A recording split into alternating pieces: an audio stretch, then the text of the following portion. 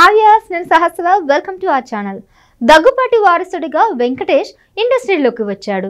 Career ప్రారంభంలో కాస్త ఒడిదుడుకులు ఎదుర్కొన్నాడు. ప్రారంభంలో పూర్తి యాక్షన్ చిత్రాలను చేశాడు. అయితే తరువాత ఫ్యామిలీ లవ్ స్టోరీ కథలకు కేర్ అడ్రస్గా నిలిచాడు.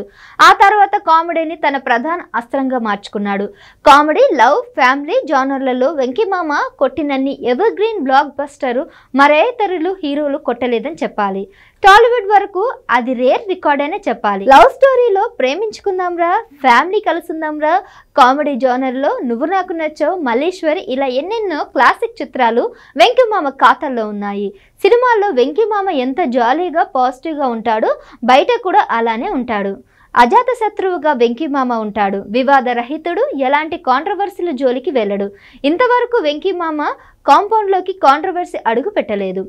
ఫ్యామిలీని ఎప్పుడు పబ్లిసిటీలోకి తీసుకురాలేదు. సినిమా లైఫ్ పర్సనల్ లైఫ్ను సపరేట్గా ఉంచుతాడు.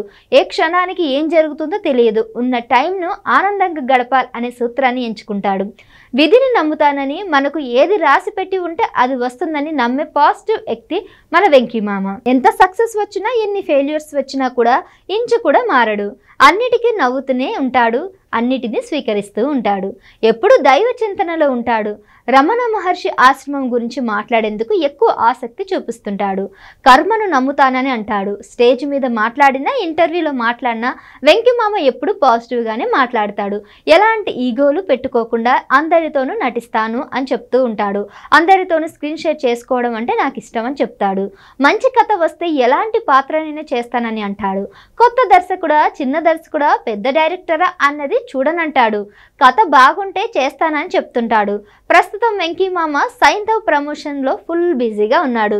కెరియర్లో డెబ్బై ఐదవ సినిమా కావడం సంక్రాంతికి వస్తుండడంతో మరింతగా ప్రమోషన్స్ మీద ఫోకస్ పెట్టారు.